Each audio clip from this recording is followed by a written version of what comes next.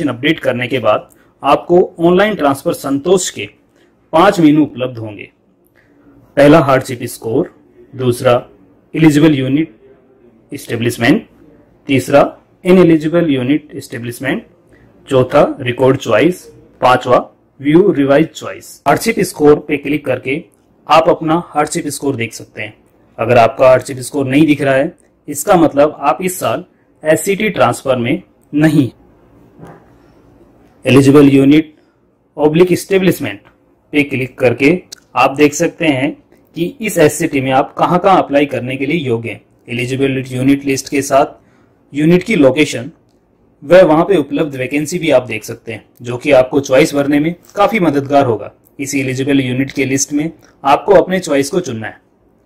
और इन eligible unit oblique establishment आप क्लिक करके देख सकते हैं कि आप कहाँ के लिए योग्य नहीं है, वह उसका कारण क्या है?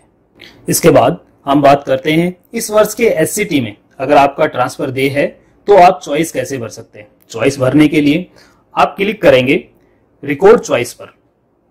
इस पर क्लिक करने के बाद आपको तीन मेनू उपलब्ध होते हैं। समर चैन जनरल, समर चैन स्पेशल, समर चैन रिटेंशन। जनरल चॉइस सभी को भरना ज़रूरी है। आइए, अब हम बात करते हैं समर चैन जनरल चॉइस भरने की। जैसे ही आप समर चेन जनरल पर क्लिक करते हैं। आपको दिखाई देगा एलिजिबल कैटेगरी उसमें कितने यूनिट उपलब्ध हैं? और आपको मैक्सिमम कितनी चॉइस हर कैटेगरी में भर सकते हैं। हर कैटेगरी के यूनिट में से जिस यूनिट को आप सेलेक्ट करना चाहते हैं, उस पर क्लिक करें। सेलेक्ट होते ही उसका रंग बदल जाएगा।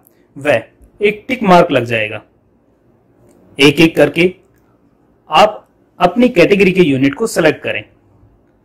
जब स्क्रीन पर मैसेज आ जाएगा मैक्सिमम सिलेक्शन लिमिट रीज तो आप समझ लें कि इस कैटेगरी में इससे ज़्यादा यूनिट आप नहीं सेलेक्ट कर सकते।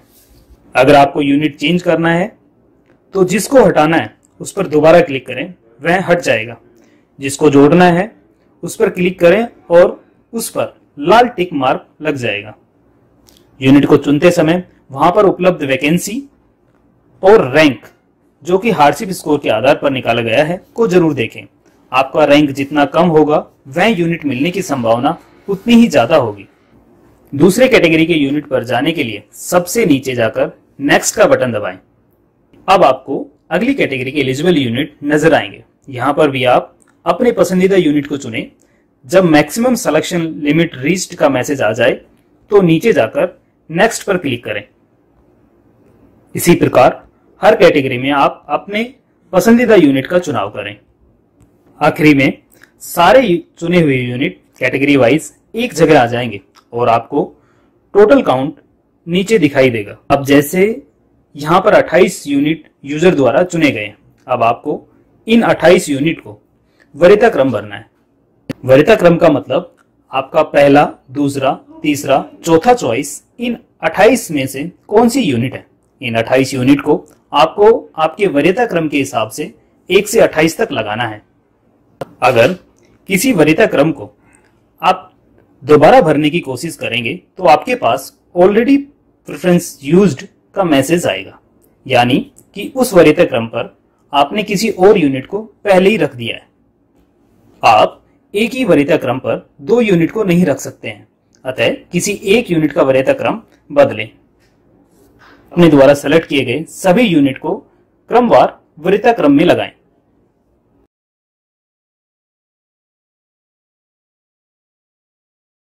उसके बाद सबमिट को क्लिक करें, जिससे कि आपकी चॉइस संतोष एप्लीकेशन में सबमिट हो जाएँगी।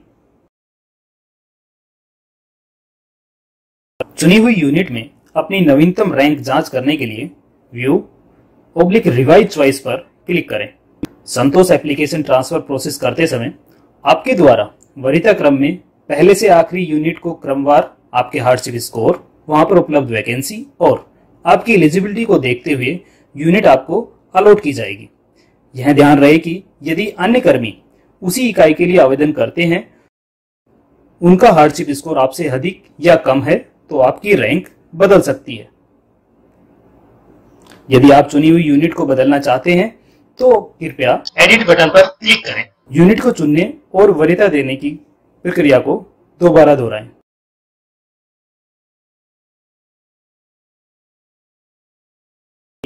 अब हम बात करते हैं समर चेन स्पेशल चॉइस को भरने की। समर चेन स्पेशल चॉइस को भरने से पहले आपको समर चेन जनरल चॉइस को भरना अनिवार्य है। समर चेन जनरल चॉइस भरने के उपरांत जैसे ही आप समर चेन स्पेशल श्रेणी का चयन करेंगे आपको एक नोट दिखाई देगा कि आप समर चेन स्पेशल या समर चेन एक्सटेंशन में से किसी एक ही श्रेणी का चयन कर सकते हैं। समर चेन स्पेशल चॉइस में आप बढ़ेंगे तो आपको एक्सेप्शन टाइप प्रदर्शित हो जाएँगे। इनमें से आप सही एक्सेप्शन का चयन करें। चयन के उपरांत आपको एक उपश्रेणी प्रदर्शित होगी। पुनः उप श्रेणी का चयन करें। उप श्रेणी का चयन करने के उपरांत प्रासंगिक दस्तावेज़ प्रकार का चयन करें। इसके पश्चात सेलेक्ट योर फ़ाइल पर क्लिक करें तथा प्रासंगिक दस्तावेज़ को पीडीएफ प्रारूप में जिसका आकार 250 केबी से ज़्यादा ना हो अपलोड करें। इसके बाद नेक्स्ट क्लिक करें, जिसके उपरांत आपको सीआरपीएफ के सारे प्रतिष्ठान क्लस्टर के तौर पर दिखाई देंगे। सभी क्लस्टर में आप किसी भी एक क्लस्टर के प्रतिष्ठानों में से दो एवं सारे प्रतिष्ठानों में से दस प्रतिष्ठान का चयन कर सकते हैं। जैसे ही आप प्रतिष्ठानों को चुनेंगे, उनके सामने रेड टिक लग जाएगा। कुल दस प्रतिष्ठान का चयन करने के उपरांत सबमिट बटन पर क्लिक करें, जिसके उपरांत आपकी विशेष चॉइस सबमिट हो जाएगी।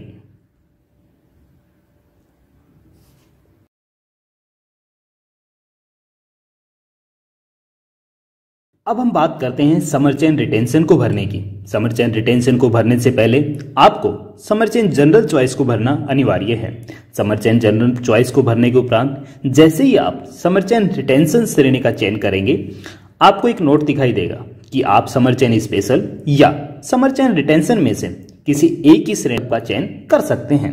समर चेन रिटेंशन में आप बढ़ेंगे तो आपको एक ड्रॉप डाउन मेनू में रिटेंशन के विभिन्न प्रकार मिलते हैं।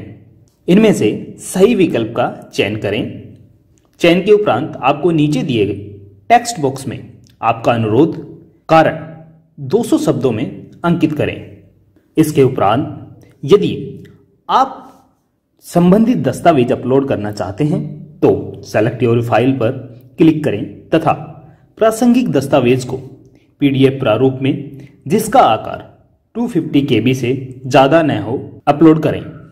अपलोड करने के बाद नेक्स्ट पर क्लिक करें, जिसके उपरांत आपकी रिटेंशन चॉइस